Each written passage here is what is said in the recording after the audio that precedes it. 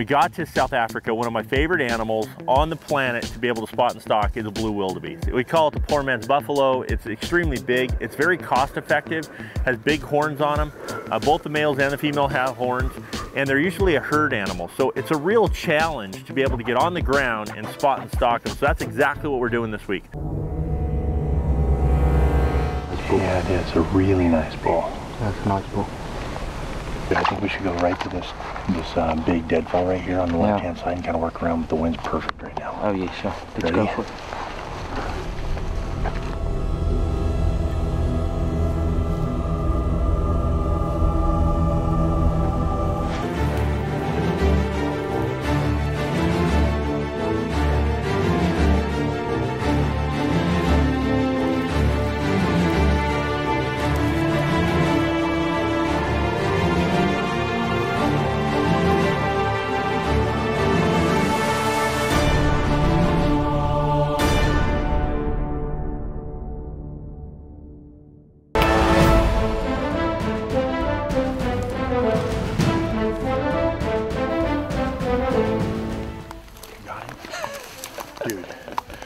Congratulations, guys. We just spot and stalked a blue wildebeest. I'm not kidding you.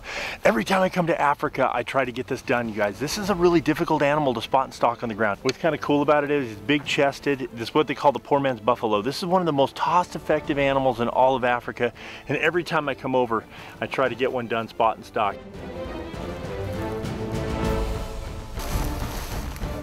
You guys are awesome trackers. No doubt about it. The skill and the talent is mighty. We just killed a blue wildebeest. Are you two smiling?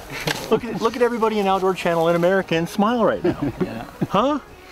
I'm telling you, I'm hanging out with two of the most experienced guys in all of Africa. I wish I could take you guys with me everywhere.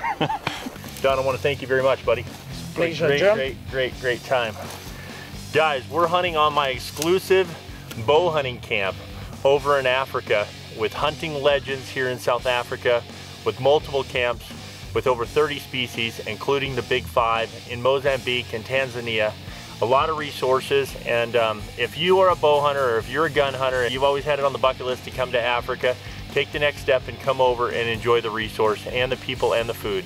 You won't be disappointed. Absolutely extraordinary place on earth. Me and the Bowtech are going to be showing up every year until the day I die. In fact, I'm probably going to be wheeling around this brush country with my wheelchair.